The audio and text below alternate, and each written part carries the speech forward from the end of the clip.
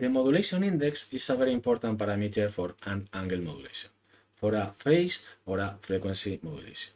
This parameter is related with very important characteristics of an angle modulation. Because of this, in this video, we will introduce the definition of the modulation index and then we will analyze the effect of this parameter in the bandwidth of the angle modulations and in the signal to noise ratio of these modulations. The modulation index is defined from the maximum deviations.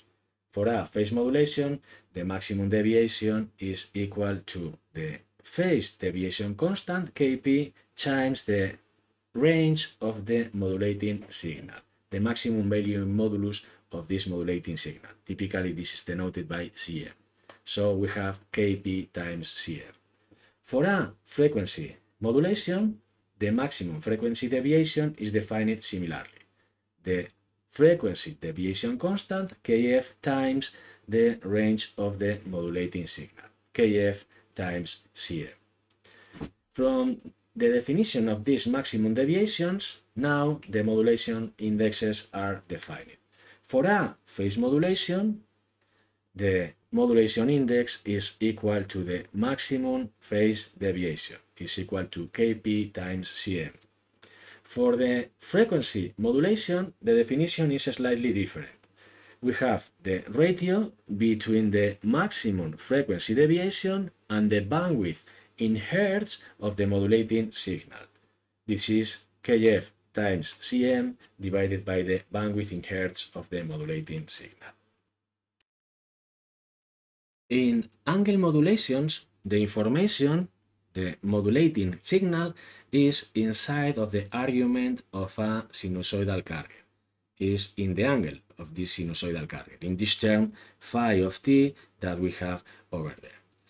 This term phi of t is proportional to the modulating signal in the case of a phase modulation, and in the frequency modulation, what is proportional to the modulating signal is not phi of t, but its derivative, or what is the same. Phi of t is proportional to the integral of the modulating signal. In any case, the relationship between the modulating signal, that is here, and the modulated signal of the phase or frequency modulation is clearly non-linear. And this nonlinearity makes difficult the analytical analysis of some characteristics of the angle modulations. For instance, it's difficult to analyze the spectrum of an angle modulation. There is only possible to obtain results for very simple modulating signals, but in general, it's difficult to make a generic analysis. For instance, there is not an, a general expression for the spectrum of an arbitrary non-periodic deterministic signal. In this case, the only thing that is available is an heuristic rule, that is the Carson's rule, that can be used to estimate the bandwidth of the modulated signals. And the Carson rule says that the bandwidth of a frequency or phase modulated signal is approximately equal to 2 times the value of the modulation index plus 1 times the bandwidth in hertz of the modulating signal, the bandwidth in hertz of the information that we are transmitting.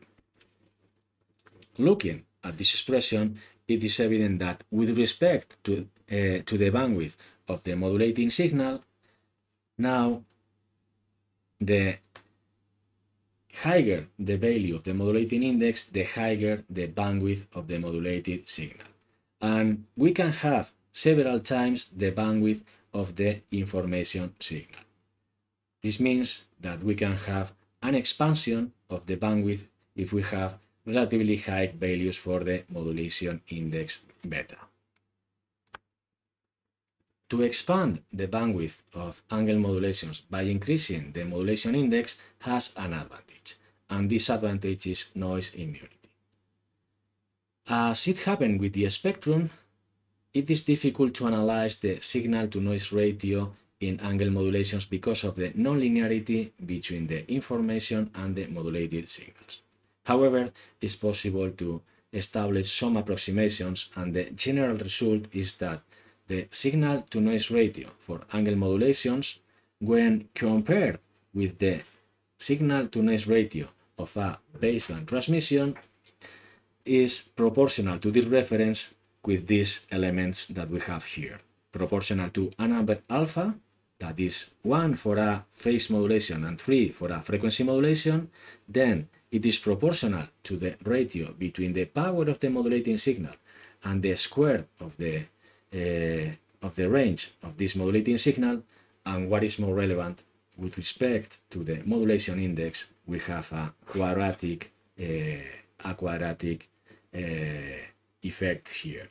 The signal to noise ratio is proportional to the square of the modulation index.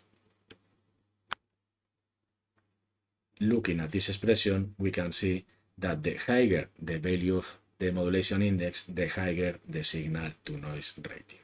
And there is a quadratic relationship.